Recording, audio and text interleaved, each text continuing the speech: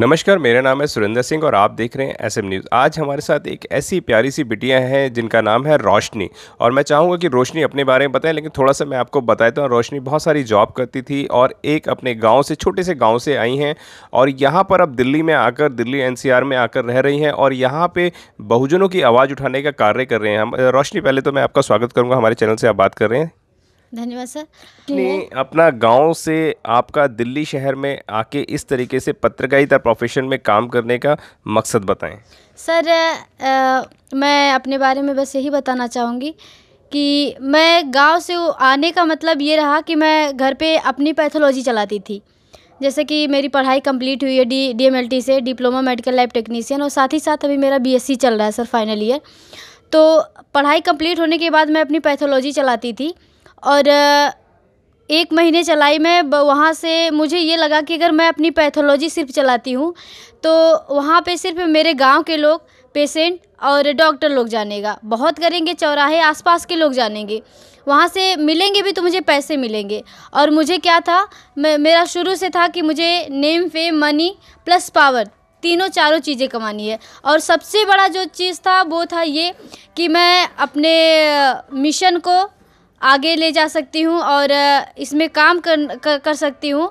तो पहली बार मैं यहाँ पे आई जॉब वैसे तो मैं आई थी जॉब के अकॉर्डिंग बट जब मुझे बहुत तलाश करने के बाद जॉब ना मिली तो इसी कन्नाड प्लेस में मुझे एक बार अवसर मिला सिंगिंग का ऑडिशन देने के लिए। और मैं यहाँ पे समतावाज टीवी मनोज अंतनी सर से मिली। और उनसे मैं बात करी कि, सर, मुझे भी अपने चैनल्स में मौका दीजिए। तो उन्होंने मुझे मौका दिया और जब उन्होंने मुझे मौका दिया तो मुझे ये लगा कि मैं अपने बहुजन के, आवाज़ को आगे तक ले जाने के लिए।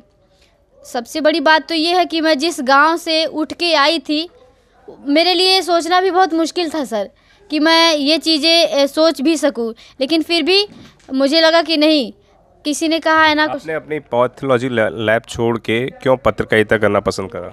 सर मैं इसीलिए मैं पहले ही बता चुकी जैसा कि मैं बस मेरा यही था कि मैं सिर्फ़ पैसे ही नहीं मुझे मुझे name fame money plus power तीनों चीज़ें कमानी है जो कि मुझे पत्रकारिता एक मीडिया से ही मिल सकती है सर।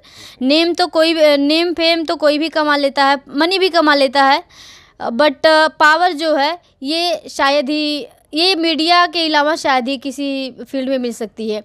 और दूसरी चीज़ ये है कि मैं मीडिया के माध्यम से अपने बहुजन की आवाज़, जो कि मैं गाँव से हूँ, मुझे पता है, गाँव की परेशानी, गाँव के, और मेरे जैसी बहुत सारी ऐसी लड़कियाँ हैं। एक लाइन है, हुनर तो सब में होता है लेकिन किसी का छप जाता, किसी का छिप जाता है। तो बहुत सारी ऐसी लड़कियाँ हैं, जो कि अपने आप को दिखाना चाहती, लेकिन उन्हें प्लेटफॉर्म नहीं मिल पाता है। तो मुझे लगा कि अगर मैं मीडिया से जुड़कर अपनी बातें शेयर करूँगी तो लोगों को एक मोटिवेशनल मिलेगा। ठीक है, सर? तो इसीलिए मैं पत्रकारिता से जुड़ना चाहिए और मैं अपने बहुजन समाज की आवाज़ को आगे तक ले जाने का प्रयास कर रही हूँ और मैं ऐसे ही करती रहूँगी। अभी जैसे आपको के पी चौधरी साहब ने आर्थिक सहयोग किया है तो क्या लगता है इस आर्थिक सहयोग से आपका सब कंप्लीट हो पाएगा? मतलब कितना टाइम चला पाएँगे इस पैसे को? और आगे इसको पैसे को कैसे बढ़ाना चाहेंगे? और बहुजन मीडिया के लोग आपको बहुत सारे देख रहे हैं तो आप किस तरीके से उनसे उम्मीदें करते हैं वो भी बताएँ। सर, मैं बस यही उम्मीद करती हूँ कि लोग मुझे भी सपोर्ट करें। सपोर्ट करने का मतलब ये है कि यहाँ पे अनजान शहर में मुझे कोई जानता नहीं। लोग मुझे जाने और ऐसे प्रोग्राम्स हो जहाँ पे मैं अपनी बातें रख सकूँ लोगों को बता सकूँ और रहेगी बात मीडिया की तो मीडिया आ, मीडिया सभी देखता है चैनल सभी देखता है और जो मेरी तरह लोग होंगे मैं उनसे यही कहना चाहूँगी जो मेरी तरह लोग होंगे वो लोग भी उन्हें भी एक कहीं ना कहीं मोटिवेट मिलेगा और वो लोग भी अपने घर से बाहर निकलने की कोशिश करें और इस तरह से जैसे मैं करी हूँ वैसे वो भी करें। क्या नाम है आपके चैनल का? मेरे चैनल का नाम है सर सच्ची न्यूज़ गाँव से शहर तक। आप थे हमारे साथ रोशनी जिन्होंने अपने चैनल एक यूट्यूब पर चैनल बनाया है सच्ची रोशनी गाँव से शहर तक।